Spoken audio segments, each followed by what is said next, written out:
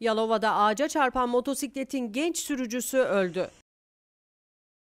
Yalova'da motosikletin ağaca çarpması sonucu meydana gelen kazada sürücü hayatını kaybetti.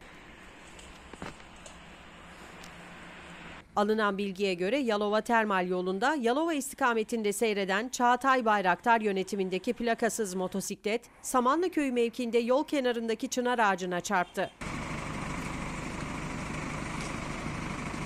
Kazada ağır yaralanan sürücü olay yerine gelen 112 ekipleri tarafından ambulansla kentteki özel hastaneye kaldırıldı. Bayraktar yapılan tüm müdahalelere rağmen hayatını kaybetti. Kazada ağır hasar alan motosiklet çekiciyle olay yerinden kaldırıldı.